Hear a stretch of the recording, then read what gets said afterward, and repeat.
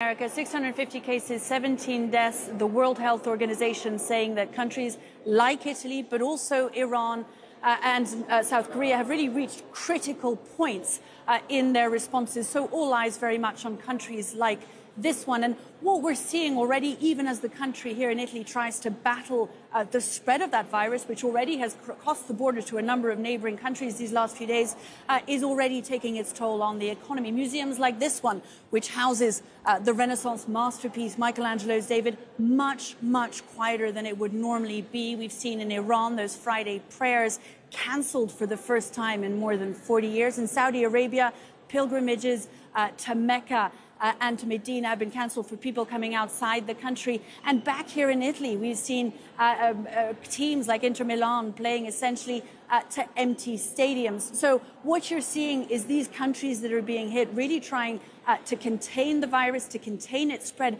but those very measures are leading to sort the sort of changes in habits and panic that are having and likely to have over the coming weeks a devastating impact on the economy as these countries try to contain a virus uh, that you're less likely to get than the flu but that you are more likely to die of. John. Those images from that Inter game yesterday were stunning. This was a, a tournament game, a Europa League game that normally 45, 50,000 people would have been there. The stands completely empty. Just think of that. Think of what the impact of that is. And then I have to say, Melissa Bell, with one of the most majestic backdrops you can have on the planet, to have David behind you, Michelangelo's David behind you, but the crowds there are not that big.